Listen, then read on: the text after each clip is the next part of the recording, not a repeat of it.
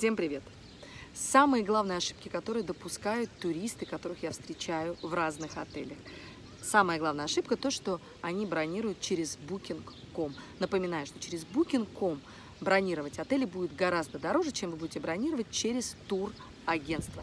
Это можно всегда проверить, то есть пишите мне, делайте запрос и сравнивайте с Booking.com. Второе. Ни один Booking.com вам не даст реальную информационную поддержку как турагент, который живет сам в отелях уже второй год и видит отели в период пандемии. Все плюсы и минусы и особенности каждого отеля.